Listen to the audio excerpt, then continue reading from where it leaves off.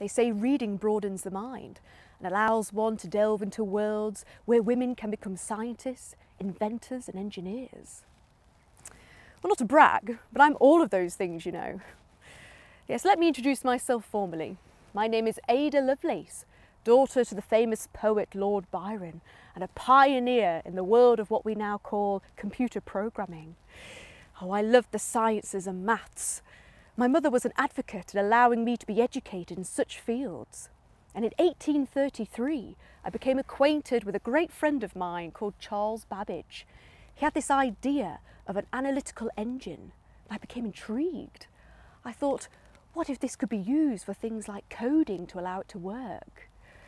And you know, my work was published. Yes, in an English science journal in 1843. However, it took over 100 years to be recognised for my brilliance, of course. In fact, I inspired the greats like Alan Turing. But if you can't get enough of me, you can visit me.